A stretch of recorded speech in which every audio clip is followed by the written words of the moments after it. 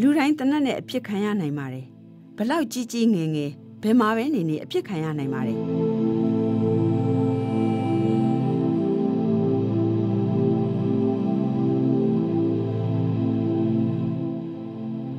တနတ်နဲ့ပြစ်တာတွေကနေရာတိုင်းမှာဖြစ်တတ်ပါတယ်ရုပ်ရှင်ယုံဖျားကြောင်ကိုနေတဲ့အိမ်ကိုရက်ွက်လန်းတဲ့အားကစားယုံဈေးမရွေးပါဘူး တချို့ကတော့အခုလုပ်နေတာတွေကိုစိတ်တက်ကြစရာအမှောင်တွေဖုံးနေတယ်လို့ခန်းစားမိမှာပါတကယ်လဲအမှောင်ထုကရှိနေပါတယ်ဒါပေမဲ့အဖြူရောင်အလင်းတန်းတွေလည်းရှိပါတယ်ကျမတွေ့ခဲ့တဲ့သူတွေကသူရဲကောင်းဆန်တဲ့ထူးခြားတဲ့လူကောင်းတွေပါတခြားလူတွေမခံစားဘူးတဲ့အတွေ့အကြုံတွေကိုမျှဝေပေးခဲ့ကြတာပါ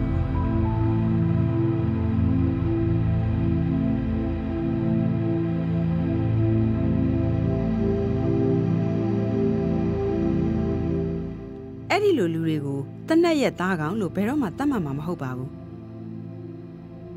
ဒီလိုခေါ်ရင်တနက်နဲ့အပြစ်ခံရပေမဲ့ရှင်တန်နေတဲ့သူတွေကိုစော်ကားသလိုဖြစ်မှာစိုးလို့ပါ